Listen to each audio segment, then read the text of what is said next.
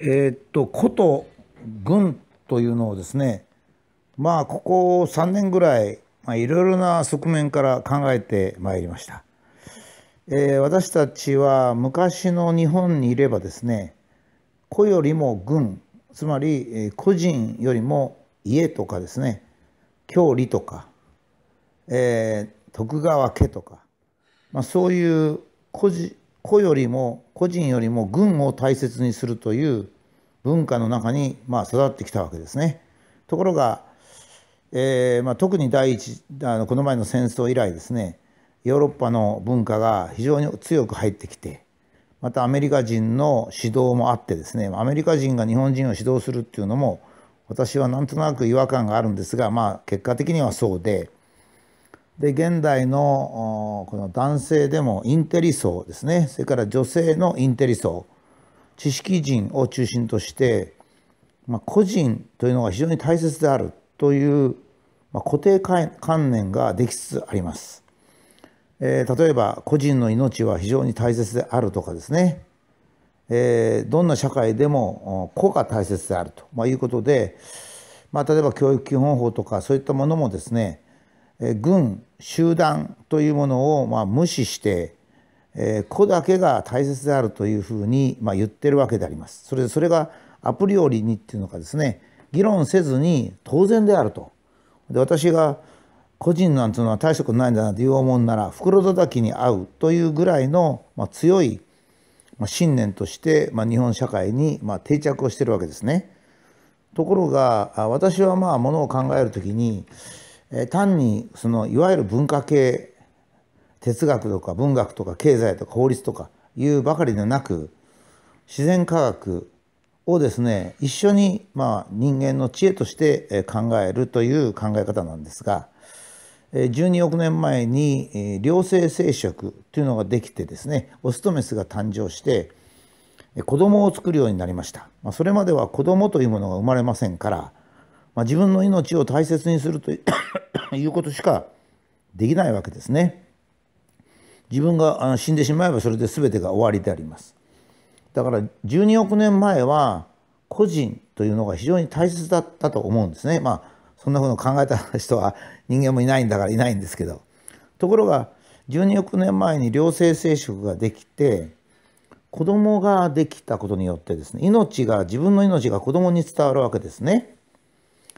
私の親が結婚したから私の命があり私が結婚したから子供の命があり子供が結婚したから孫の命があるというふうにですね命のは続くようになりました。それによって個人の命というのはあまり大きな役割を果たさなくなった。つまり、えー、生物というのは面々と続く親から子子から孫という命の連続に対してえー、それをうん一番大切なことは命をつなぐことその命をつなぐ間で毎日の生活をエンジョイし、まあ、個人を大切にするという順序が、まあ、できたわけですね。したがってこれは遺伝子レベルでは非常にはっきりしてはっきりしておりまして自分の命よりか子供の命を必ず大切にします。これはもう事実でよくわかります。それから自分の命よりか集団の命群れの命を優先します。これも遺伝的にははっきりしておりまして私たちの体の中にある DNA 遺伝子はですね命に順番をつけておりまして最も重たい命が群れの命次の命が子供の命そして自分の命という3段階で構成されておりまして現実的に何か起こりますと群れの命のために自分の命を捨て子供の命のために自分の命を捨てるというのが一般的なこれ価値観じゃないですよ。価値観ではありません、えー、そういうのが動物や植物でありますしそれがいいとか悪いとかいうことじゃありません。それからそれを動物がそうだから人間もそうだっていうふうに結論をしようとしてるわけでもありません。そういうのが事実であるということですね。だから近代ヨーロッパにおける個人の権利とか個人の価値というのを認めたのはですね一つは生物学的な知識とか遺伝上の知識というものをほとんど知らなかったヨーロッパの人たちが自分の頭脳頭脳というのは非常に偏ってるわけですね。今まで自分が生まれてから周辺環境もしくは自分で積極的に勉強した情報によって構築され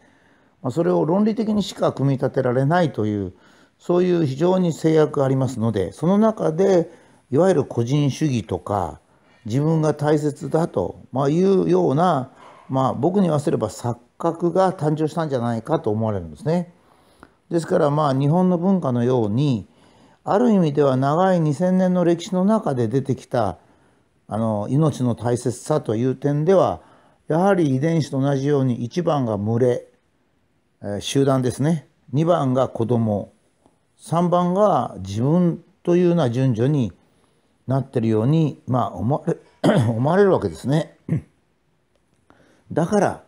天皇陛下のために命を投げ出しなさいとそういうこと言ってんじゃないんですね。そういう順序だった。そして私はまここで別のことをこういつも考えるんですがいわゆる人間の心の中にある残虐性ですね。この残虐性っていうのは常にある傾向がありまして頭で考える人は残虐なんですね。非常に残虐です。私が昔の言い方すれば地上体というのはいつも相反していると。知恵というものと情と体力というのは常に相反してるんだ。夏目漱石的に言えば地に働けば角に立つ情に差をさせば流されるとま表現してるわけですがそれでもいいですしそれから体育会系の人は大体情に熱くて論理が弱い論理の強いインテリは、えー、情に非常にこう冷たいわけですね。ですからそういう点で残虐性を持っている民族っていうのは特徴があって大脳重視型なんですね。だからヨーロッパの歴史の方が、えー、アジアの歴史特にインドネシアフィリピン日本といったこういった海洋国家の歴史よりか残虐性がものすごく高いんですね。それからタバコをですね吸う民族と吸わない民族ではやっぱりこれタバコを吸う民族の方が穏やかなんですね。例えばアメリカン・インディアン、えー、日本人